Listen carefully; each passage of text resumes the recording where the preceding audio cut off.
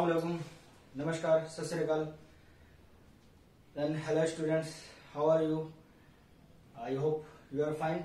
Today we will discuss about uh, how to prove 0 equal to 1 by Hindi में ही सही है छोड़ो है ना हिंदी में उन्हें बोलने से बिल्कुल परफेक्ट है सब है ना? खैर कोई नहीं। ये बस मज़ाक था भाई है ना? ऐसे बस मज़ाक कर लिए हिंदी इंग्लिश जो भी लैंग्वेज आप बोले सामने वाले को समझ में आनी चाहिए। लैंग्वेज वो जो सामने वाले को समझ में आए। तो ज़ीरो इक्वल टू वन जो है, आज हम प्रूफ कर रहे हैं कि ज़ीरो इक्वल टू वन, है ना? कैसे प्रूफ होगा? इंटीग्रेशन को लेकर के, ठीक है? देखते हैं, बड़ा इंटरेस्टिंग रिज़ल्ट मिलेगा। मैथमेटिकल फलासी है, इसको पैराडॉक्स कह देते हैं। पैराडॉक्स याद है? पैराडॉक्स ठीक है?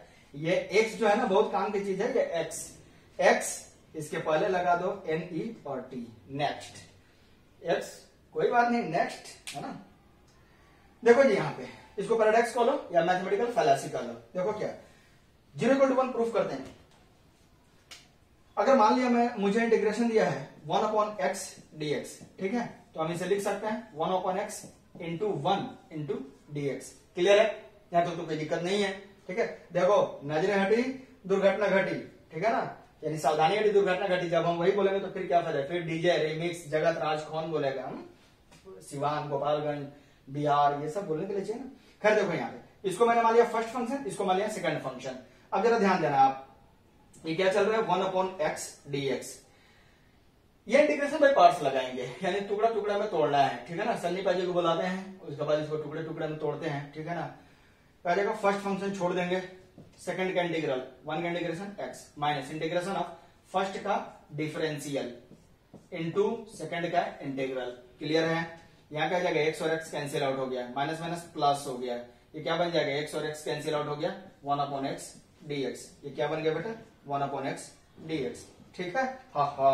अब जरा यहाँ ध्यान दीजिए। ये गया इसके साथ तेल लेने के लिए। तो पानी पीने कौन बच गया? ज़ीरो इक्वल टू वन वाह क्या बात है। वाह zero equal to one proof हो गया भाई।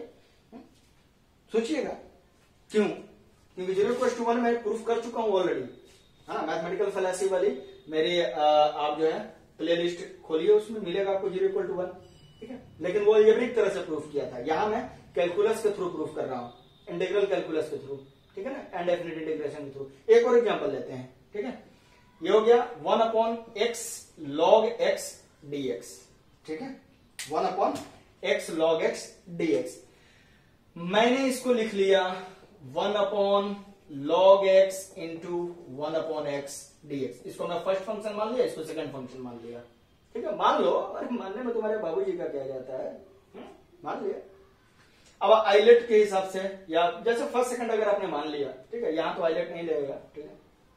फ़र्स्ट सेकंड आपने मान लिया ठीक है? अच्छा। फ़र्स्ट फ़ंक्शन छोड़ देंगे।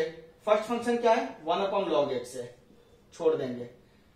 क्योंकि बच्चों को यहाँ कंफ्यूजन होने जाते हैं ना कि सर लॉग ऊपर होने चाहिए तो ही आईलेट लगेंगे, इसलिए मैंने मना कर दिया, ठीक है ना? बाकी कोई दिक्कत नहीं है, आप लगा सकते हैं। फ़र्स्ट फ़ंक्शन छोड़ दिया। सेकंड का इंटीग्रल वन अपॉन एक्स का इंटीग्रल क्या हो जाएगा? लॉग एक्स यहाँ लॉग एक्स का बेस ई जो है अंडरस्टूड है ना? माइनस इंटीग्रेशन ऑफ़ फ़र्स्ट का differential one upon log x का डिफरेंशियल क्या हो जाएगा बेटा? Minus one upon log x का whole square into one upon x और वन अपॉन एक्स का इंटीग्रल तो लॉग एक्स हो जाएगा। थोड़ा छोटे छोटे लिख दिए हैं, ठीक है? कोई घबराने के बाद लॉग एक्स लॉग एक्स गया पानी पीने के लिए। माइनस और माइनस प्लस हो गया। यहाँ जरा ध्यान दीजिए, ये लॉग एक्स इसके साथ कट गया। एक्स लॉग एक्स डीएक्स और ये कट गया इसके साथ। जैसे यहाँ था ना ये चीज़। क्या गया? ज़ीरो इक्वल टू वन हो गया। लेक्चर खत्म। लेक्चर ओवर यानी zero equal to one proof हो गया। मेरा काम था zero equal to one proof करना।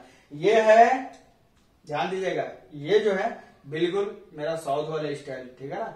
मैं एक्चुअली मेरा दोस्त जो है साउथ इंडियन मूवी जो है साउथ अल्लू अर्जुन इन लोगों की रामचरण की मूवी बहुत ज़्यादा देखता है ठीक है? वो बताता है तो थोड़ा सा स्पीड होता है ना जैसे हम्म, उस हिसाब से। ज़ीरो टू वन अपने प्रूफ कर दिया वाह भाई। तो सर गलती कहाँ हुई है? बच्चे के मन में ये उत्सुकता होती है कि सर गलती कहाँ हुई है? थोड़ा सा है समझने वाली चीज़ है। अच्छे क्वेश्चन है। ऐसा नहीं कि बरगलाने के लिए मैं दिया हुआ हूँ ठीक है ना? ऐसा बिल्कुल मत सोचना हाँ बोल दे रहा हूँ। ये जो चीज़ें हैं, सोचने वाली बात यहाँ पे ये है कि जो आप एंड डेफिनेट इंटीग्रेशन कर रहे हैं, ध्यान दीजिएगा, कभी भी एंड डेफिनेट इंटीग्रेशन करने में एक कांस्टेंट ऑफ़ इंटीग्रेशन आता है। नाम सुना होगा इस जंतु का? इस जंतु का तो नाम सुना होगा ना? कांस्टेंट ऑफ़ इंटीग्रेशन लगाया जाता है। क्यों? क्योंकि इसके ज्योमेट्रिकल मीनिंग क्या होता है कि इंटीग्रल जो आता है, किसी भी फ़ंक्शन को इंटीग्रेट करने के बाद जो हमारा नया फ़ंक्शन मिलेगा, उससे क्या रिप्रेजेंट होता है?